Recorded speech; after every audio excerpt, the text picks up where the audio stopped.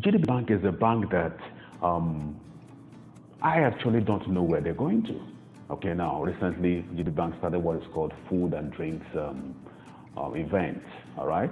Now, if if you are a bank copying GTB Bank, you copy everything they do. You don't know where they're going. Tomorrow, GTB Bank might say, okay, we don't want to do banking again. Why don't we want to leave banking and go into something totally different? All right? So if you are copying, so why they do what they do is because they have a reason for the things they do. So I want to challenge you today have a reason behind or get a why, a clear why, the reason behind, the philosophy, all right, the belief, the cause behind your brand or the brand you've created or you're creating. Let's say you have even launched a brand. Go back to the drawing board and know and clarify your why as regarding your brand. It is going to help you in the long run. Now, I have to say this, according to Simon Sinek in his book, uh, Start With Why, all right? That book, I mean, you should read the book, okay? He talked about the how, the what, the how, and the why, all right?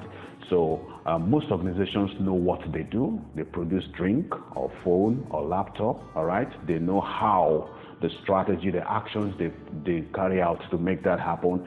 But the why is where the problem is few companies and organizations, individuals, brands know why they do what they do.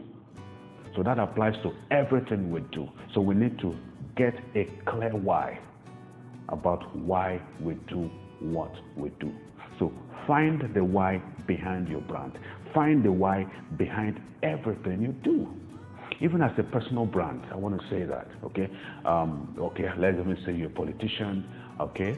why are you coming out for the office? Why do you want to be a senator? Why do you want to be a House of Reps uh, uh, uh, member? Why do you want to be a governor? Why do you want to be a president? Did you just want to be a president? You just woke up one and say, Yes, I feel I can change the country. I feel I can lead the country. All right, that's not a good reason. All right, so why do you want to come out to be, I mean, to contest.